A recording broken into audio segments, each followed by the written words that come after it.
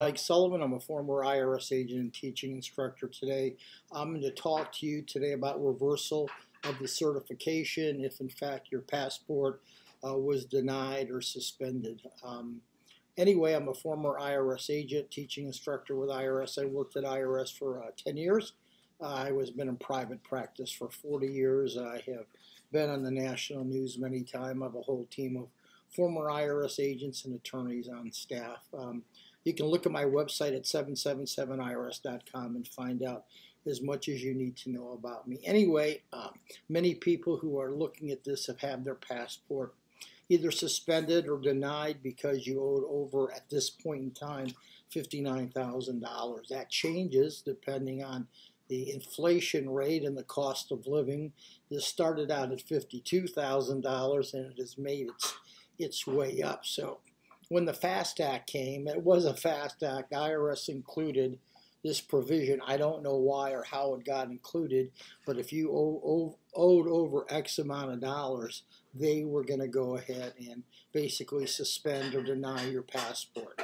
So if you were going to try to renew your passport, or you had to apply for a, a new passport for whatever reason, uh, and you found and I, an IRS sent a notice to the State Department that you had serious debt, you weren't going to go ahead and get your your passport until you went ahead and take care of your IRS problem. And some of you, if you're watching this video, you're hoping for that certification to come back, but you have to resolve your IRS problem. So as a former IRS agent as a firm, we've done really many of these cases. And how this works is this um, IRS has to be called. They're going to want a financial statement.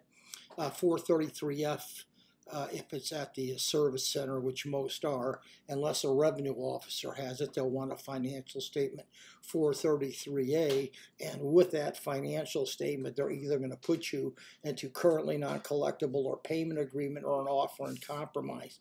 Your current financial statement will, will dictate that. So uh, many of you are looking to either do this yourself or hire someone. Well, if you're looking to hire someone, we're experts. If you're looking to do this yourself, you must be familiar with the IRS financial statement. They're going to look at that form and they're going to want to see if you can pay the tax in full.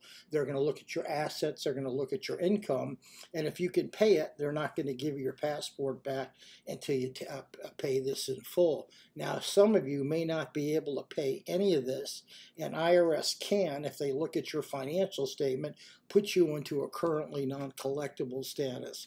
Um, sometimes the easiest way is to make a payment agreement, and if you do, then I, it all depends on the liability. Some of you can do it if it's a small liability, but for those of you who owe larger liabilities, you're not going to be able to do that. You can make a payment agreement with IRS but you may never ever pay the tax off. As long as you make a payment agreement, you're in really good shape. You can try to go online if you want, make a payment agreement, but you're still going to have to call IRS so they can uh, notify the State Department. The other option is to file an offer and compromise uh, as to doubt as to collectability or doubt as to liability, but you have to know what that offer program is all about. Anyway, no matter what your case is, you have to go ahead and contact IRS you have to give them a 433F financial statement if it's at the service center. And with that, they will put you in one of those three categories I talked about. The other thing is you're going to have to make sure all your tax returns are filed, and they're going to want to make sure you're current, making estimate payments or withholding. Uh, just so you know, if you're trying to do this on your own, it's going to take much longer. If you have more imminent travel plans, it's best to call a professional to get this taken care of. My name is Mike Sullivan. I'm a former IRS agent. Remember, there are three ways to get this back. Either put you in currently non-collectible payment agreement or offer in compromise. Give me a subscription if you would. I'd really appreciate it. We know what we're doing. We appreciate your business.